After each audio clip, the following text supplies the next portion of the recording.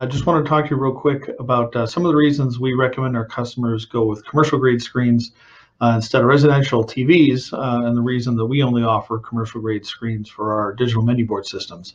Um, the analogy I always like to use is the difference between a standard sedan and like a cop car or a taxi or an emergency vehicle.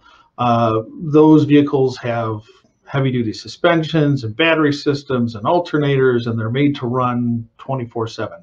So always be ready to go.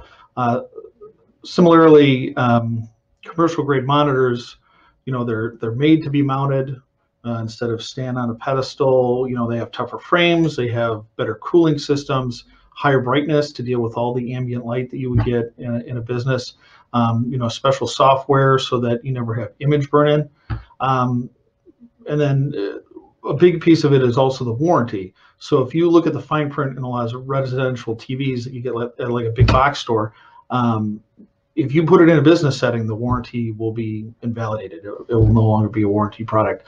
Um, also, the you know little things here and there you learn along the way. One of the things that we learned is um, commercial grade monitors will not have a TV tuner, which you know initially you might think is a downside, but it's a plus. For example, you know if you have a disgruntled customer or ex-employee or something that can go on Amazon and buy you know any sort of universal remote for 35 bucks, they can go sit in your parking lot and change a channel or mess with the input settings or or mess with your menu as you're trying to sell to your customers. So not having a TV tuner uh, is a security feature that allows you to you know bypass you know the sort of things that maybe you know you didn't take into consideration prior to you know even knowing it could be an issue. So we're the experts. We're here to help. Uh, we look forward to uh, working with you. Thanks a bunch. Bye.